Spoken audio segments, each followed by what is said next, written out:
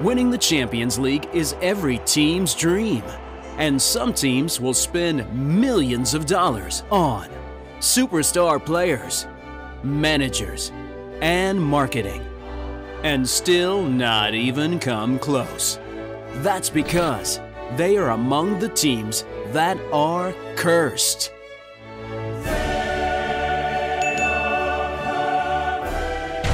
Number 1. PSG.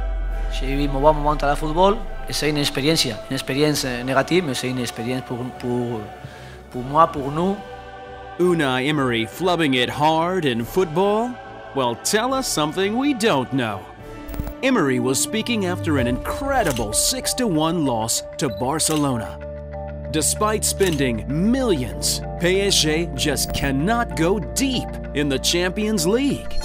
From 2013 to 2016, PSG lost in the quarterfinals of each year.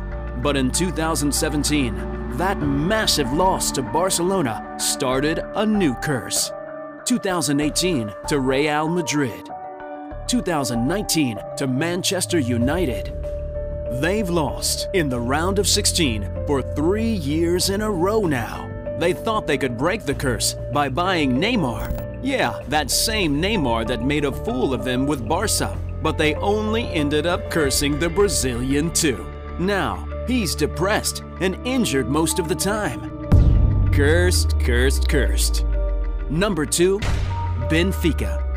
In 1962, an incredible Benfica side won the European Cup, and their manager, Bela Guttmann, decided his success deserved a pay raise.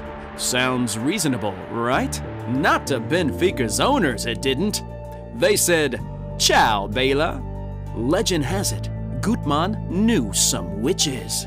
Hey, and by the way, we are totally not making this up. Uh, and you can look it up if you want. Please don't look it up. Guttmann was so incensed, he put a curse on Benfica. Not in a hundred years from now will Benfica ever be European champion. 58 years later, and the club have made eight European finals, winning zero.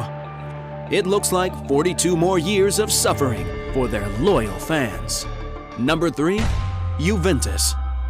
Juventus are Italy's most successful club ever, domestically anyway. However, in Europe, they are cursed. And if you don't take our word for it, just ask Alessandro Del Piero. I won't say it was fate that would seem like an excuse, but that trophy is cursed for Juve. He said this just months before Juventus lost their sixth European Cup final to Barcelona. Two years later, they would lose their seventh. That's more losses in finals than any other team. Number 4. Atletico Madrid. Another team traumatized with Champions League finals. Two finals lost in three years and a semi-final exit the following year, all to their crosstown rivals, Real Madrid. How painful. Since then, Atletico cannot get past the round of 16. Will this year be any different? Number 5. Arsenal. This next team has a special curse, and dear oh my goalers, that's because it's my team, Arsenal. Arsenal are so cursed, they aren't even in the Champions League these days. Everyone thought they could win it in 2004 during the days of the Invincibles. But they failed. And in 2006, somehow they made it to the finals. But again, they failed. After that, they lost in the round of 16 for seven straight seasons. And now they can't even win the Europa Cup. So, what can they win? A clown contest. That's what. And last but not least, Jurgen Klopp. Okay, okay, okay. He isn't a team. But before his Champions League win last year, Klopp seemed destined to never win the competition. He had lost two UCL finals before that. But the Liverpool manager is a great example of how you can break a curse. So Juventus, Benfica, PSG, Atletico, or even Manchester City fans, rejoice! There's hope that the curse can be broken. Maybe even during this season for some of you.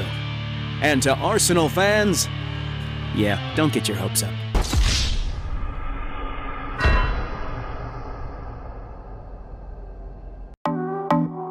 Thank you for watching this video. If you enjoyed it, don't forget to leave us a like and please subscribe to the channel. Now, the voice is yours. Give us your ideas for new videos in the comments.